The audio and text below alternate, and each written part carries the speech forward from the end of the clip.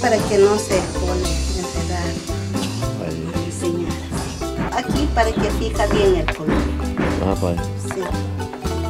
Eso va a quedar aquí para que se fija más el color. ¿No les dificulta deshilarlo otra vez para trabajarlo? No, porque nosotros cuando lo, lo, ponemos aquí de una vez arreglarlo y se, se mira puro seda el trabajo. Gracias a usted por el tiempo concedido, gracias por la oportunidad de explicar todo el procedimiento que se hace aquí con los colores de los hilos naturales.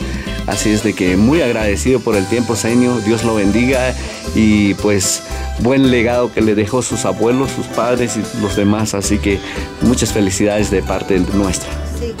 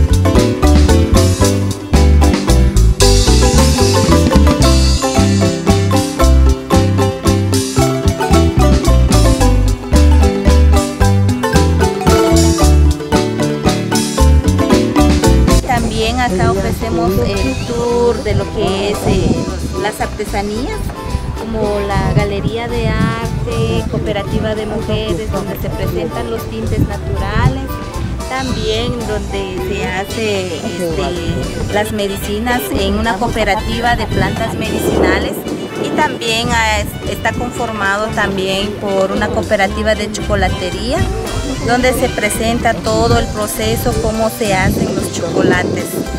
Gracias. Gracias señorita por la información y la introducción de este bello paisaje de nuestra querida Guatemala.